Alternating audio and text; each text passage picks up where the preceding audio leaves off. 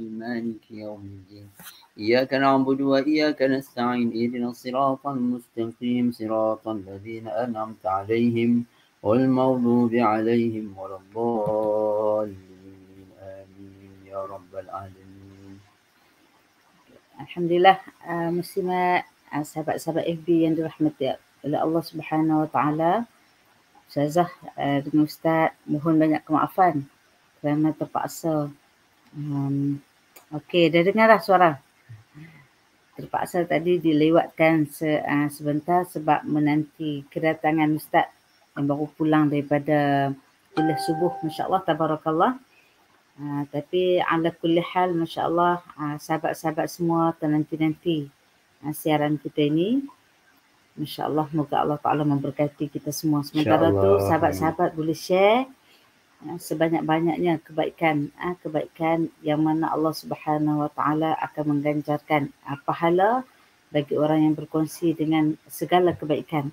Kebaikan yang telah pastilah ustaz ni. Itu dalam majlis ilmu. Amin, amin. walaupun namanya santai namun sama-sama kita nak apa nak upgrade balik pengetahuan kita daripada uh, yang kurang tahu kepada lebih tahu yang telah tahu Ah, namun terlupa Ustaz. Sama-sama okay. nak mengingatkan insya-Allah. Hari ini sahabat yang dirahmati oleh Allah Subhanahu Wa Taala, Allahu Akbar. Uh, kita akan berada dalam siri baru. Siri uh, mudahnya untuk ke syurga telah berakhir pada uh, dua minggu lepas. Hari ini adalah hari di mana kita akan sama-sama uh, muhasabah.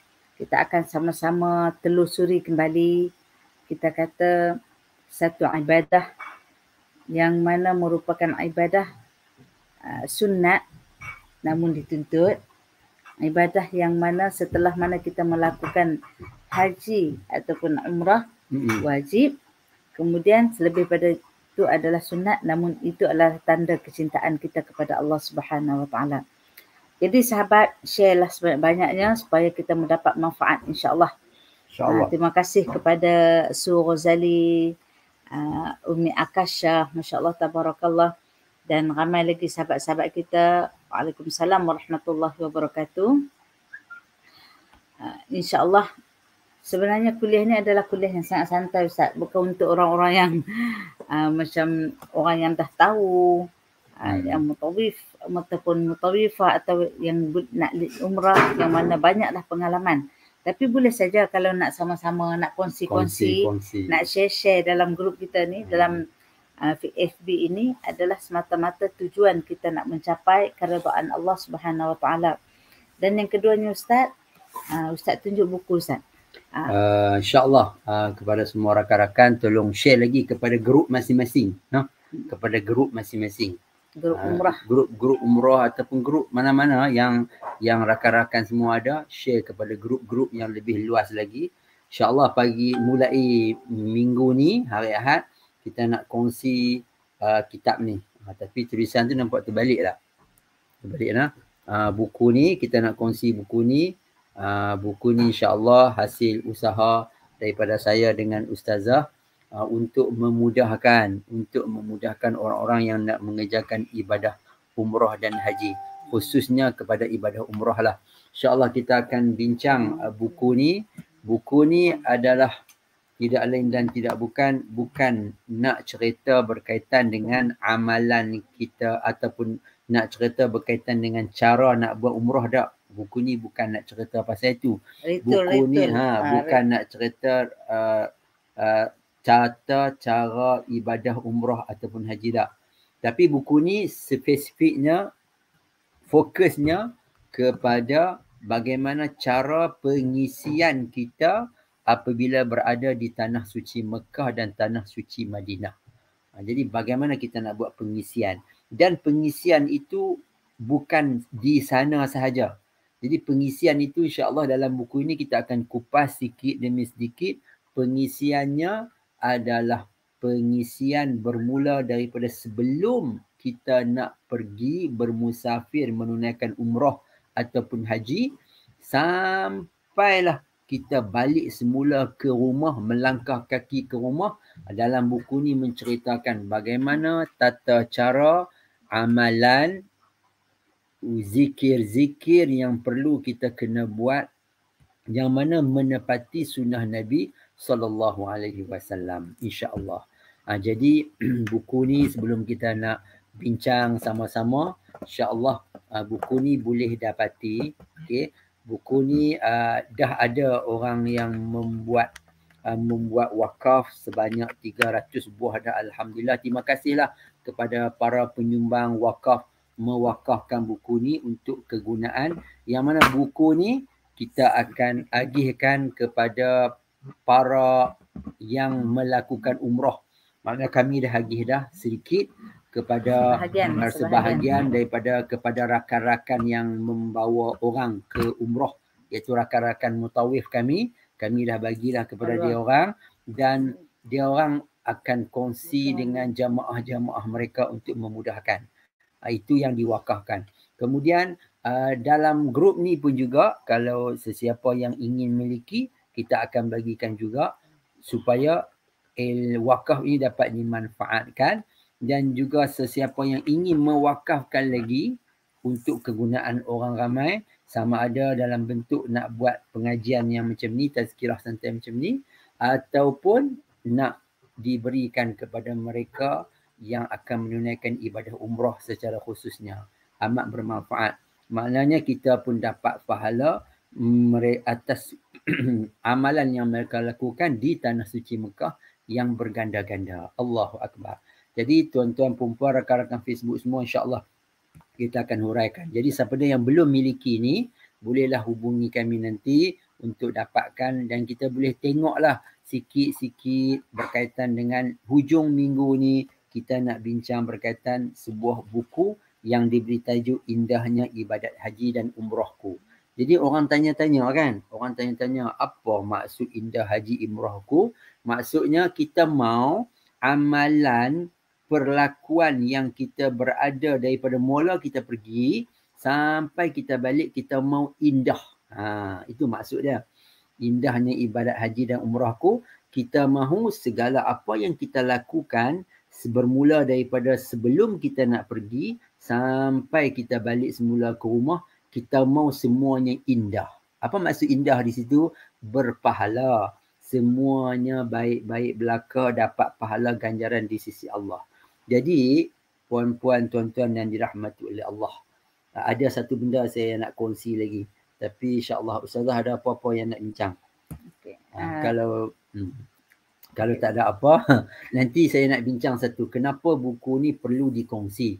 Ha, kenapa buku ni perlu dikongsi? Kerana ada beberapa testimoni dah. Saya bagi dekat mereka daripada hasil wakaf-wakaf orang yang terdahulu. Ha, dia orang wakaf buku ni, saya bagi, saya bagi, saya bagi. Dia orang guna. Sampai di sana, dia orang hantar WhatsApp dekat saya. Alhamdulillah Ustaz, terima kasih banyak kerana Ustaz bagi buku ni. Bukan saya nak kata buku ni yang terbaik. Tetapi buku ni adalah jalan penyelamat bagi mereka buat sementara waktu. Mereka berada di sana. Mereka terima kasih. Kenapa? Saya tanya kenapa? Lalu dia orang jawab, kami tahu nak buat apa. Ha, senang. Kami tahu nak buat apa ketika mana kami duduk di tanah suci Mekah dan tanah suci Madinah kan ha. ha.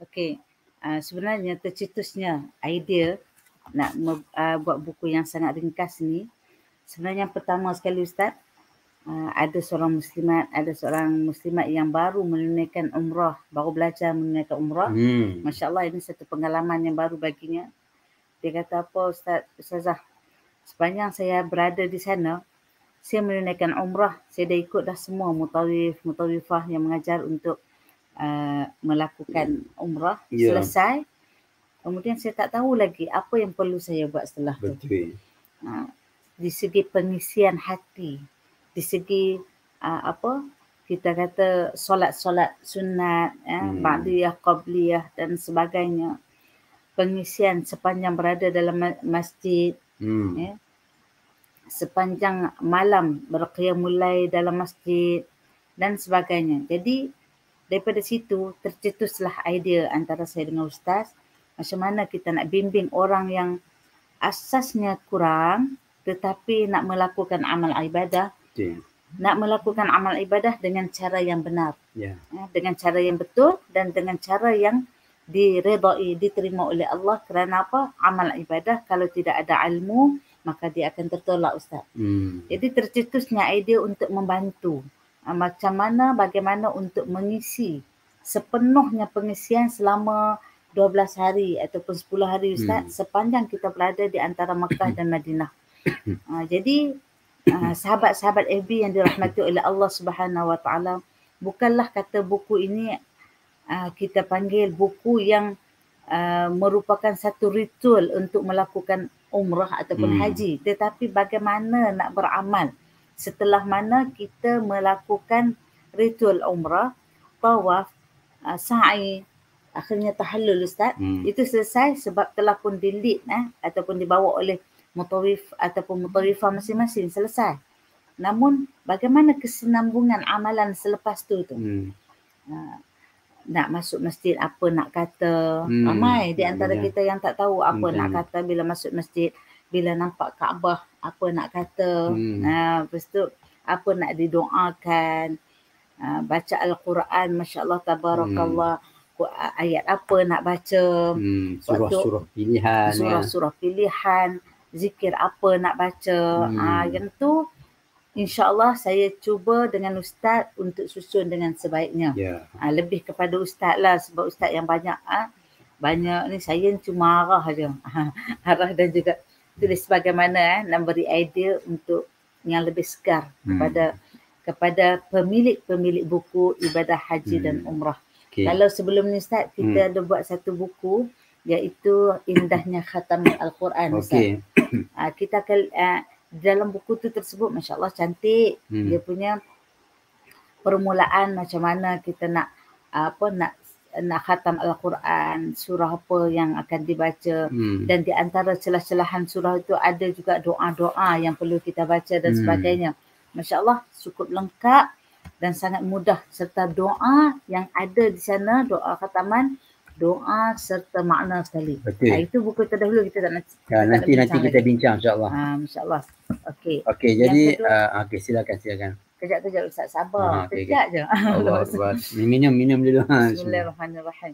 Okey, kemudian uh, bila masuk buku ni kita bincangkan begitu bagaimana amalan-amalan dalaman dan pengisian-pengisian yang perlu kita lakukan sepanjang kita berada di sana.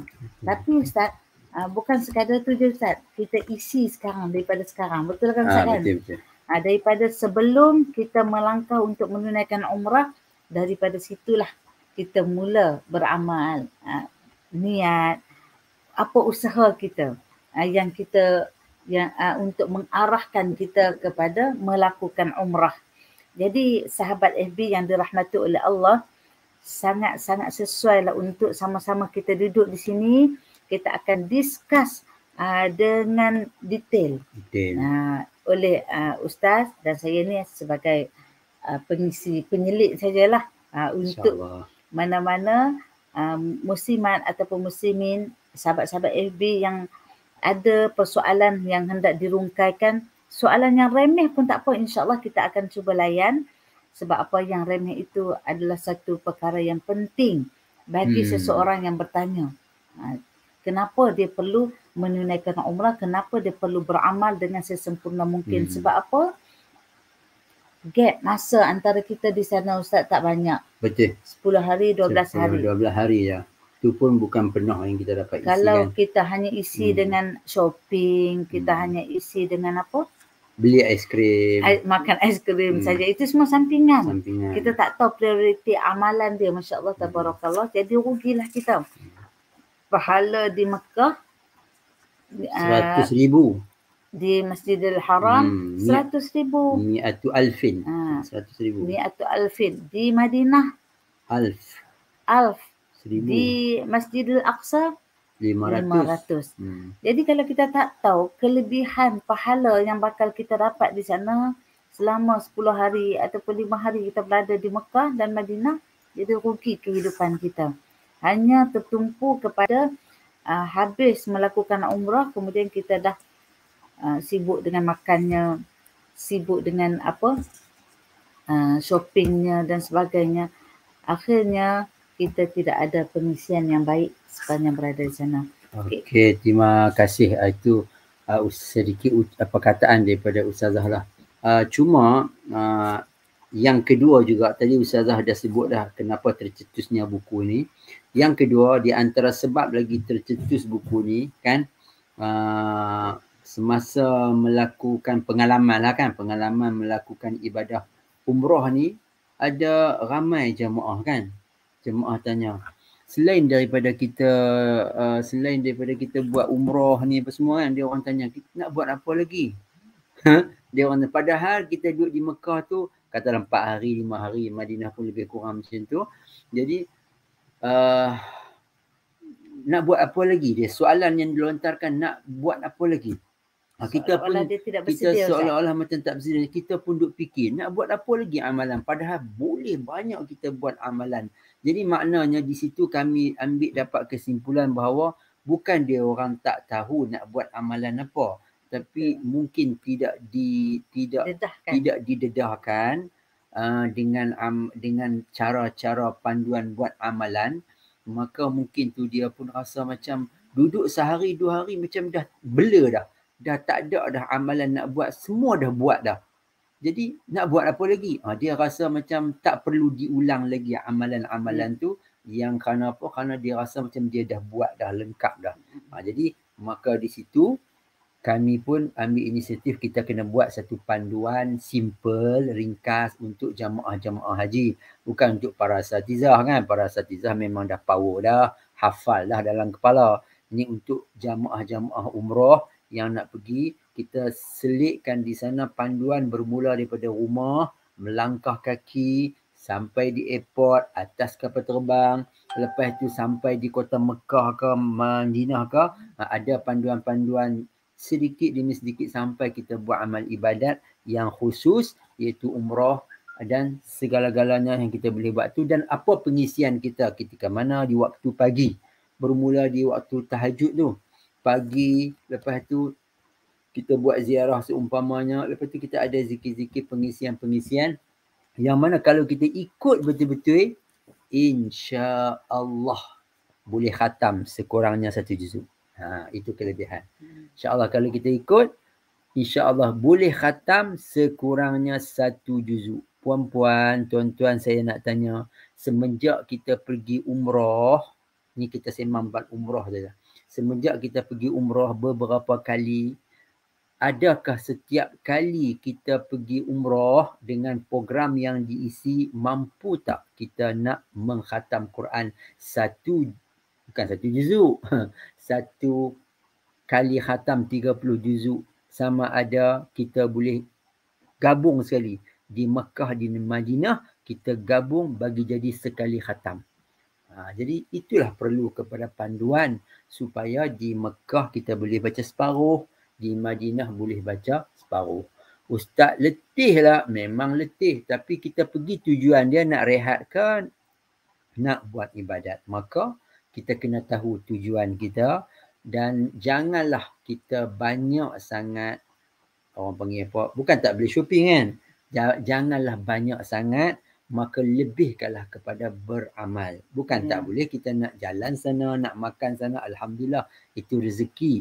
Tapi dalam masa yang sama kita kena target habis duit banyak, maka pahala pun kena dapat banyak dan amalan yang aku nak buat pun banyak paling kurang khatam, selawat, zikir yang mana semua diletakkan dalam ni insya-Allah nah. Insya-Allah. Ada satu lagi hmm. uh, pengalaman yang ya, diceritakan pada saya Ustaz ada seorang muslimat ni Masya Allah dia pergi umrah Allahu Akbar pergi dalam keadaan uh, kita kata nak kata bersedia bersedia juga di segi kewangan ya namun di segi uh, kemampuan nak beramal di sana ni sangat terhad katanya satu saja amal yang dia pegang hmm. mungkin dia hanya pegang pada satu saja iaitu dia? dia tumpu kepada bacaan al-Quran Allahu Akbar Masya-Allah tabarakallah dia kata berat, uh, sepanjang berada di sana selain daripada dia hanya berhenti minum air zam-zam hmm. dan pergi untuk berwuduk hmm.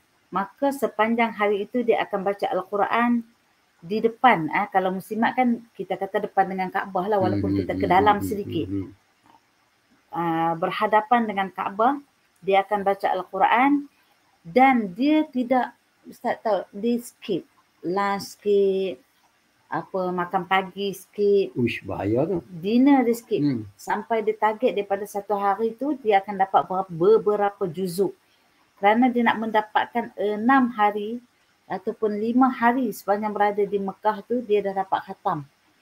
Uh, lalu dia skip banyak sangat. Akhirnya dia kata dia menceritakan pengalamannya Masya Allah Tabarakallah muslimat yang dirahmati oleh Allah sepanjang uh, lunch ataupun sepanjang dinner yang dia tak ikut tu ada saja uh, hamba Allah yang datang letak di tepi dia uh, buah kurma dan juga air zam-zam. Allahu akbar rezeki. Allah itu rezeki sebab dia menanamkan tekad eh, tekad yang kuat untuk menghabiskan uh, khataman al-Quran berada di sana. Yang paling istimewanya sahabat yang dirahmati oleh Allah muslimat ini masya-Allah tabarakallah bukanlah seorang uh, kita kata bukanlah seorang yang pandai sangat baca al-Quran. Yang kadang-kadang tajwidnya pun Allah Hmm, Ah, merangkak lah, merangkak. sangat- merangkak je tetapi dengan tekadnya yang kuat Allah Subhanahu wa taala kurniakan uh, kejayaan cukup saja enam hari ia dapat khatam al-Quran Hmm, dengan hmm, hmm. sempurna Allah akbar. daripada situlah maka semangat saya pada Hmm. pada 2019 sebelum PKP itulah yang terakhir saya pergi dengan ustaz kalaulah kata saya dalam hati jika jika muslimat ini orang yang orang yang uh, terhad bacaannya ya tak berapa sempurna merangkak-rangkak lah kita kata boleh membaca al-Quran boleh menghabiskan khataman al-Quran apa tidaknya aku ni masya-Allah tabarakallah akbar. malu kita dengan orang-orang yang bertekad seperti ini walaupun mereka seolah-olah tidak mampu Betul. Ingat muslimat yang dirahmati oleh Allah Subhanahu Wa Taala, dua pahala bagi orang yang merangkak. Satu pahala merangkak, yang kedua pahala baca Al-Quran, Allah akbar. dua pahala tersebut. Merangkak ni maksudnya orang yang baca dalam keadaan tak tak Wahai tak Hmm. tak tak iaitu orang yang baca dalam keadaan gagap dan tak sempurnalah pada bacaannya. Dan yang kedua kerana dia pahala bacaan Al-Quran itu sendiri. Hmm. Uh, namun keadaan itu muslimat yang dirahmati oleh Allah ini merupakan satu satu motivasi kepada kita untuk kita bertekad membaca Al-Quran sampai khatam sepanjang berada di sana. Okey. Uh, jadi sebelum tu Ustaz, apa kelebihan uh, Okey. umrah? Ha, jadi Kelebihan umrah yang boleh kita yang boleh kita lakukan, yang Hmm. boleh kita uh, yang Hmm. boleh kita faham dan menambahkan kecintaan kita dalam melakukan umrah. Hmm. Okey, alhamdulillah puan-puan, uh, tuan-tuan puan-puan, uh, apa tu uh, rakan-rakan Facebook yang dirahmati dan dikasihi oleh Allah Subhanahu Wa Taala. Okey, jadi insya-Allah buku ni uh, kita akan bincang minggu depan. Hari ni Hmm. kita punya mukaddimah bagaimana uh, penyusunan buku ni untuk membantulah sedikit sebanyak bukan lengkap pun membantu sedikit sebanyak untuk mengindahkan amalan kita di sana kita ada pengisian sekurang-kurangnya kita pergi sana ada pengisian ada pembaharuan yang kita lakukan dalam amal ibadat yang mana di sana berlipat ganda yang Allah Taala bagi. Di dalam buku ni ada panduan ketika mana kita berada di dalam Masjidil Haram. Nah, pagi, petang, siang, malam. Kalau boleh ikut kita ikut. Begitu juga panduan ketika mana berada di Masjidil Nabawi Haram Masjid Nabawi daripada pagi petang siang malam ada panduan dia. Siapa dia yang biasa ambil buku ni dia tahulah uh, betapa eloknya untuk di di di di, di dilakukan Diamalkan. diamalkan. Uh, jadi uh, untuk pertama kalinya kita kena tengoklah apa keutamaan keutamaan yang Allah Subhanahu taala bagi. Andai kata ibadat umrah kita ini lengkap penuh dengan pengisian-pengisian yang baik apa yang Allah Taala bagi iaitu yang pertama penghapus penghapus dosa, berdasarkan Itu hadis kelebihan ya. kelebihan Ha, kelebihan orang berdasarkan yang hadis al umrah. umratu ilal umrah umrah sampai ke umrah kafaratul lima bainahuma akan mendapat kafarah di antara di antara umrah pertama dan umrah yang kedua tu Allah bagi satu kafarah pengampunan dosa. Kemudian haji pun sama wal hajjul mabrur laisa lahu jaza illa jannah. Haji yang mabrur tidak ada lain melainkan syurga. Jadi di sini kita nak bagi tahu Hmm. umrah ke umrah tu. Ha, Umrah Hikmah ke umrah ada tu tu. ada hikmah tu. Hmm. Daripada umrah pertama kita buat, lepas tu kita buat umrah yang kedua, ada dua bentuk. Kan? Satu, kita pergi tahun ni, tahun depan kita pergi pula. Hmm. Itu jarak tu jauh.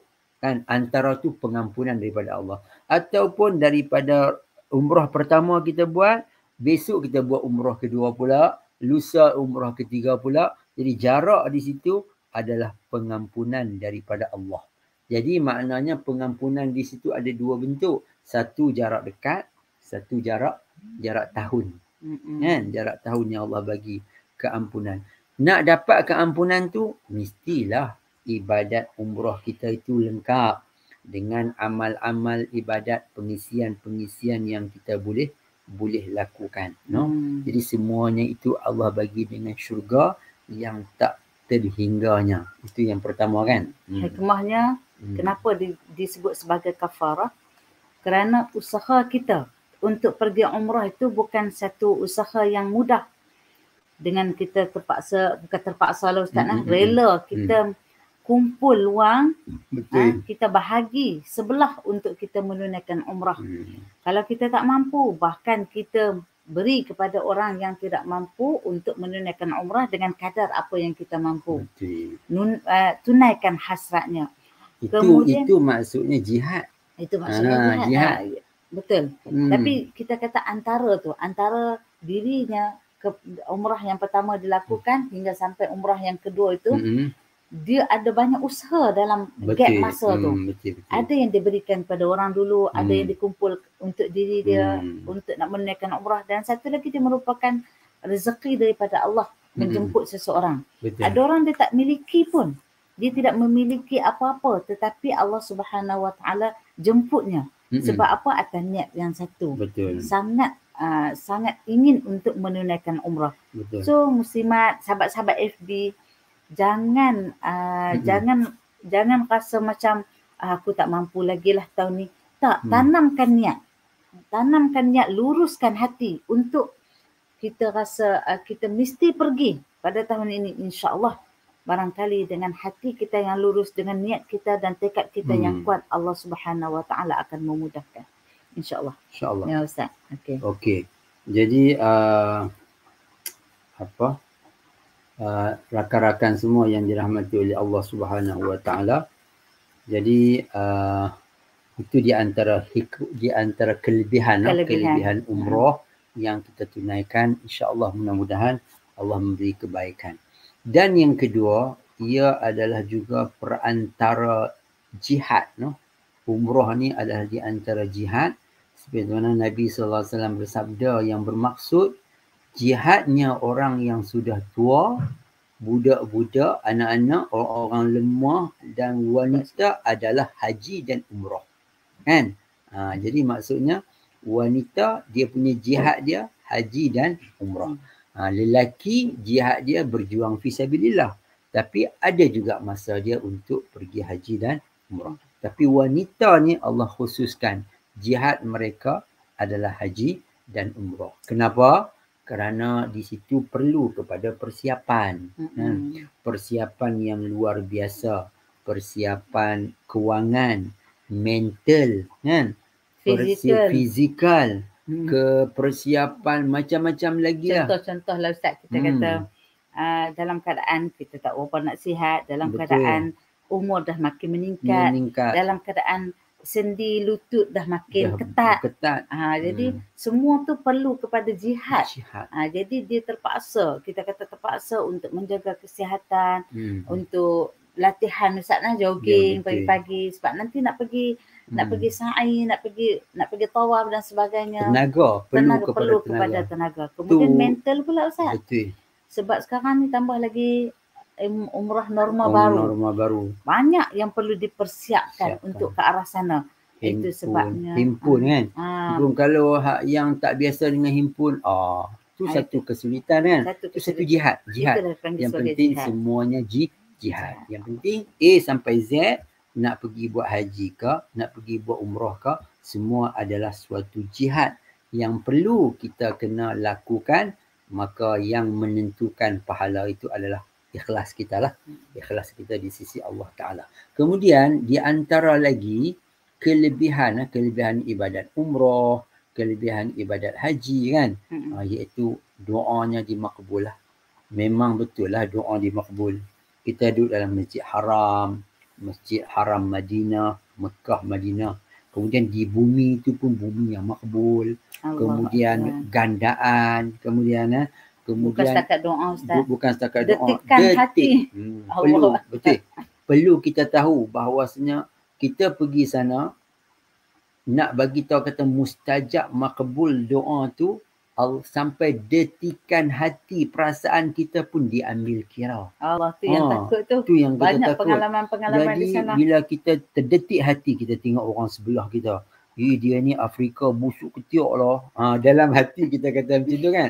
Allah busuk ketiak lah Afrika sebelah ni. Hmm memang kita akan rasa aroma seharian ketiak tu. tu seharian selama mana kita duduk kat situ. Kita akan rasa busuk ketiak dia.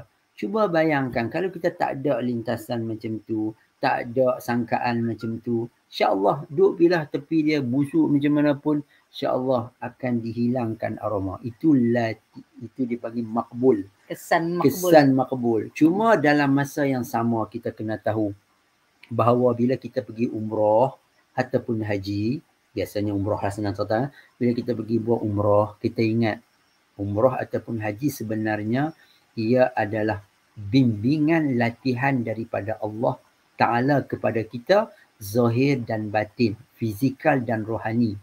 Ha, bu- di situlah Allah Ta'ala nak didik kita betul-betul. Si, di sudut zahir, Masya Allah kamu okey. Ketaatan taqwa zahir cantik. Tapi di sudut rohani, perasaan kamu tu, kamu dah dididik ataupun belak. Ha, sangka buruk kamu, sangka baik kamu, ikhlas kamu, apa-apa saja dengki kamu, rasa tak puas hati dengan orang, ha, di sanalah Allah Ta'ala akan didik.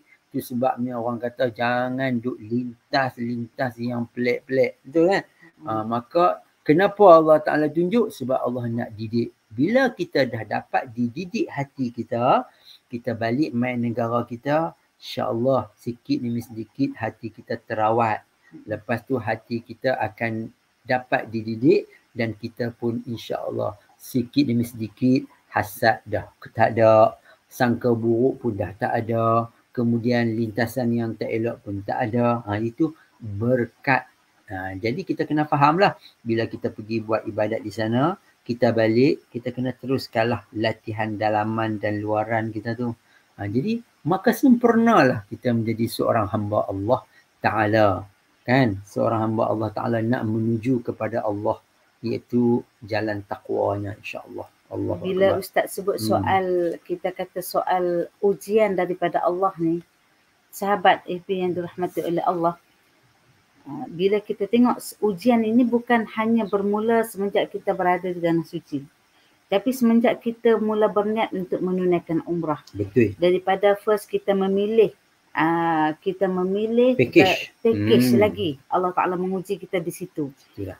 Uh, kita memilih di segi travelnya tak apa. Itu satu pilihan hmm. bagi kita. Tetapi ujian juga bersama-sama dengan kita. Hmm. Apa yang ada niat dalam hati kita sebenarnya saat yeah. kita mula memilih package tersebut apakah kerana Uh, kita nak keselesaan insyaallah hmm. akan kita diberi uh, siapa-siapa pun semua orang nak keselesaan hmm. sebab apa tak nak gangguan dalam melakukan amal hmm. ibadah di samping kita memilih tu ada beberapa tips yang pertama kita serahkan ah kepada Allah tawakal Setelah dengan pilihan kita, kita pilihan. kita memilih fa idza azamta fatawakkal 'ala Allah hmm. bila kita telah melakukan ah melakukan usaha maka kita serahkan kepada Allah. Moga-moga pilihan aku ini Allah taala redha dan mudahkan segala usaha aku hmm. ke sana. Itu yang pertama. Dan yang kedua sentiasa kena bersangka baik. Betul. Uh, sentiasa dengan bersangka baik uh, daripada apa yang dengan apa yang kita pilih tu. Ya, Moga-moga travel, travel ini hmm. travel ini akan memberi manfaat kepada aku. Setelah mana kita telah membanding-bandingkan. Tetapi jangan pula kita mengutuk-ngutuk yang lain. Hmm. Ha, jadikan ia sebagai satu pengajaran pada kita. Hmm. Dan yang ketiga, apabila sampai di sana, Masya Allah, Tabarakallah, ujian tu akan makin bertambah.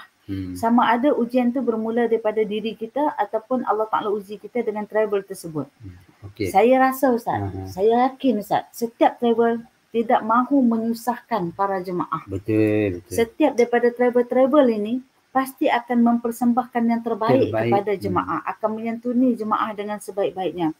Namun ada kalanya Allah Subhanahu Wa Taala akan jentik sedikit setiap anggota jemaah tersebut dengan ujian. Hmm. Jadi dengan ujian tersebut, Masya Allah, Tabarakallah, jangan kita terus menyalahkan pihak travel. Jangan kita, melenting. Jangan melenting dan sebagainya. Ingat, ini adalah perkara yang kita perlu sabar. Eh? Hadapi. Eh? Yang kita perlu hadapi dengan redha dan sabar. Kerana apa? Allah Subhanahu Wa Taala nak menunjukkan kepada kita harapan kita yang terlalu tinggi kepada travel tersebut seolah-olah dia adalah perfect dan sempurna. Hmm rupanya Allah Ta'ala nak bagi tahu makhluk Allah tak sempurna. Hmm. Pasti akan ada cacat celanya, Masya Allah, Tabarakallah. Pasti akan ada kelompangannya. Ha, sama ada sepanjang uh, sepanjang kita bersama dengan travel tersebut melakukan uh, umrah dan sebagainya ataupun selama mereka menyantuni kita di segi tempat duduk, makan dan sebagainya tidak seperti apa yang mereka ceritakan. Hmm. Itu bukanlah satu perkara yang kita kata yang pelik yang tak patut berlaku. Dan bahkan itu satu perkara yang ma'ruf dan semua orang tahu. Pergilah dengan travel mana pasti ada ujian ujian daripada Allah Subhanahu Wa Taala. Ha, ha, jadi alhamdulillah terima kasih tu. Saya pun ada juga nak nak cakap sikit, nak tambah sikit. Banyak pun tak ha, banyak. Kenapa? Ha, Masa daripada permulaan kita memilih travel tu, ha, kita dah yakin macam Ustazah kata tadi kita tawakal kita pilih elok yang sesuai dengan kita. Ha, selepas tu janganlah banyak songeh. Janganlah ada taruh resangka yang tak elok terhadap mutawif ke mutawifah yang disediakan kemudian dengan terhadap travel yang disediakan. Kadang-kadang ada setengah orang dia dah daftar apa semua lepas tu dia banyak songeh lagi. Dia ada rasa eh travel ni dia dia sangka dia dah ada sangka tak elok dah kepada travel yang dia pilih. Kemudian dia dah dia dah sangka tak elok lah kepada jemaah yang nak pergi ataupun orang-orang yang ikut serta nak pergi bersama dengan travel dia tu. Contoh dia kata ish nanti kalau saya pergi ni uh, saya tak saya ish, nak jumpa kawan elok. Kata kan nanti dalam jamaah-jamaah yang bersama dengan saya ni uh, dia orang ni sesuai tak dengan saya no. Uh, jangan duk fikir bab-bab selesa di sudut pergaulan ke apa daripada sudut apa perkara sudut yang perkara tak yang tak tetap hmm. tu jangan kita duk banyak songeh. Serah saja kepada Allah kita doa kita sangka baik. Bermula daripada kita memilih tu kita sangka baik. Ya Allah jadikanlah travel yang aku pilih ini insya-Allah dapat membawa membantu kami dengan terbaik. Dengan penuh yakin kita ingat yang baik baik yang elok-elok saja. Kemudian bagilah jamaah-jamaah yang nak ikut bersama aku ni, aku ni pun nak ikut juga maka semua geng-geng yang bersama dengan aku nanti ni uh, insya-Allah semuanya yang ngam-ngam, yang baik-baik, yang satu kepala lah senang-senang kata, satu kepala uh, yang itu yang perlu kita kena ada dalam hati. Yang penting sangka baik sahaja. Walaupun celah-celah tu kita tengok ish tengok-tengok eh kita kena postpone lah, kita kena tunda lah ha. Tak apa, ingat dalam hati itu adalah uji ujian. Itu yang itu yang kita kena ada dalam hati kita iaitu sangka baik husnuzan Allah mengikut sangkaan hambanya. Maka kita husnuzan sangka baik saja kita doa insya-Allah. Andai kata Allah taala bagi sedikit maka Allah taala ganti yang terbaik. Kan? Hari itu pengalaman pengalaman. Pengalaman orang lain lagi banyak. Pengalaman kami ni sikit saja. Kan? Hari itu pernah bawa yang sebelum PKP kan sekali yang terakhir tu apa dia? Uh, sepatutnya pergi jam berapa uh, tengah hari kot. Uh, tengah hari. Tiba-tiba ditunda. sampai ke petang. Lima petang. Oh sampai lima petang. Banyak jam tu dekat situ. Uh, jadi alhamdulillah jamaah yang saya bawa tu semuanya masya-Allah redha semua. Sangka baik semua. Sebab kita dah bagi tahu dah kena sangka baik sangka baik. Sangka baik insya-Allah ada hikmah dia kita bagi tahu. Ada hikmah dia kenapa? Daripada jam 12 ditunda kepada jam 5 petang 6 petang tu kita kata kita tak tahu lagi hikmah waktu tu. Kan? Kita kata insya-Allah ada hikmah dia. Ada hikmah dia jangan takut. Ha rupa-rupanya bila dah sampai di sana macam mana? Um, bila sampai di sana kita terus ke Mekah tapi kita sampai waktu jam uh, dalam subuh uh, jam waktu subuh. Mm-hmm. kalau anda kata sampai waktu pack. sampai waktu 12 mm, kalau kita pin, kalau ikut jadual yang asal kita akan sampai pada waktu tu waktu pack waktu yang ramai waktu yang ni tiba-tiba sampai di sana sampai di kota Mekah. Oh cantik. masya-Allah waktu yang ruang lapang. Hasil daripada sangka baik kita hmm, dengan Allah. sangka baik dengan Allah. Waktu itulah baru kita bagi tahu kat para jemaah. Tengok Allah Ta'ala tunda kita daripada jam 12 tengah hari sampai 5 petang. Rupanya kita nak dapat tawaf ni selesa. Ha, kita nak dapat apa panggil apa tu? Sa'i yang selesa. Maknanya waktu tu waktu lengang sikit kan. Waktu yeah. lengang sikit agak-agak subuh no. Subuh lepas subuh tu lengang lah juga sikit Alhamdulillah. Waktu pun tak panas.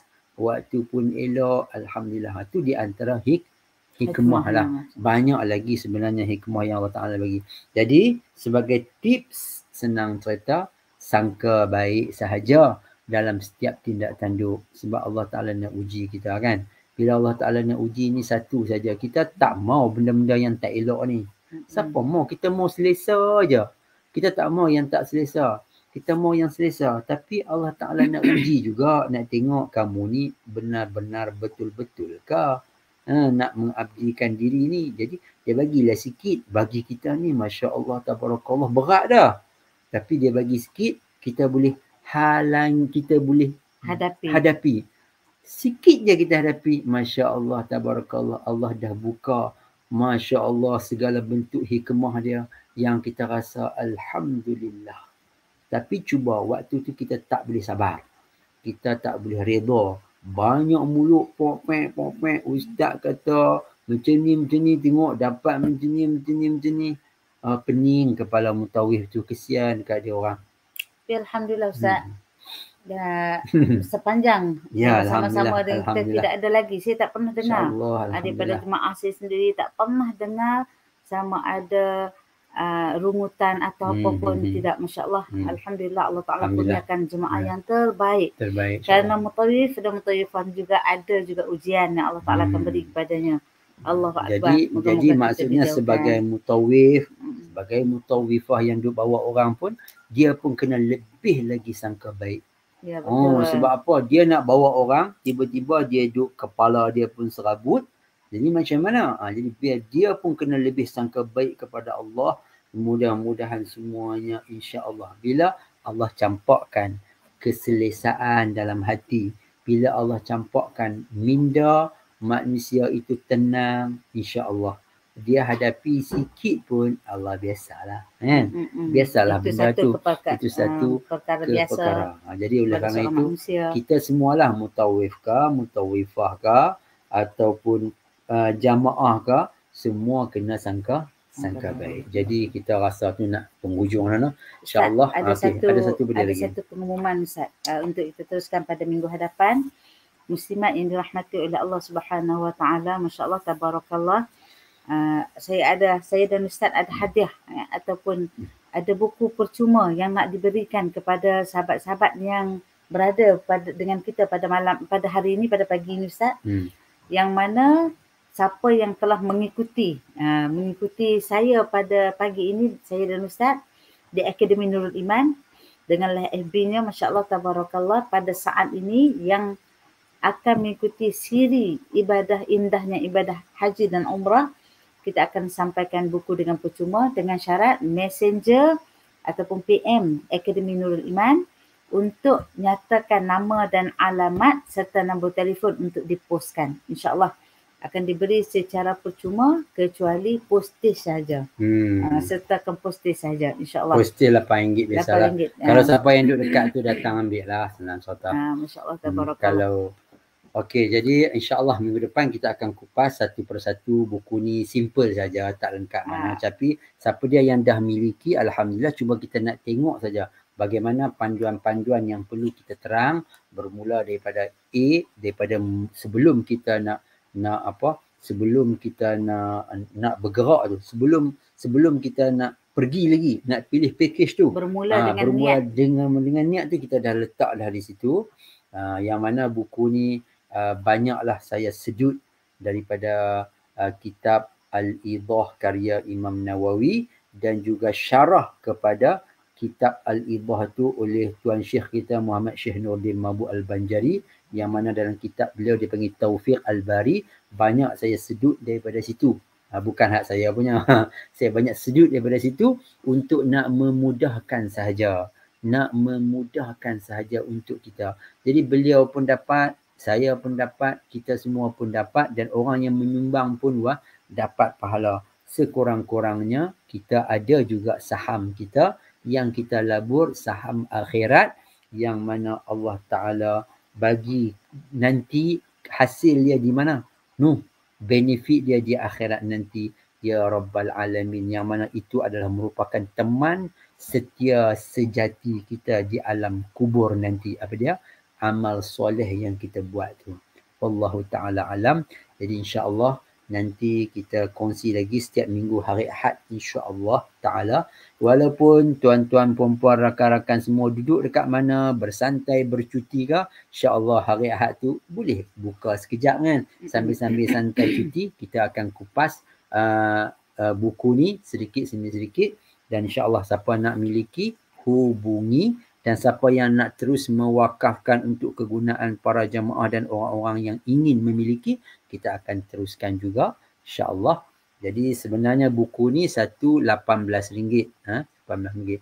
Tapi kalau siapa yang nak hak percuma tu kita akan berikan PM segera insyaAllah. Semoga bila kita uh, pada minggu hadapan kita sama-sama dapat boleh discuss, sama-sama hmm. boleh tengok muka boleh surat tengok. di tempat masing-masing insyaAllah hmm. akan capai satu kepuasan okay, okay. dan memberi manfaat kepada kita insyaAllah. Okey, sampai setakat itu saja nah. Semua rakan-rakan terima kasih kerana sudi bersama dengan kami pada pagi-pagi cuti ni, pagi Ahad ni. Alhamdulillah doa-doa supaya Allah permudahkan dan Allah memberi kebaikan dan Allah angkat bala daripada kita dan kita pun dapat beribadah sempurna. Seperti amin. biasa amin ya rabbal alamin. Di Makkah sana sembahyang boleh rapat dah kan?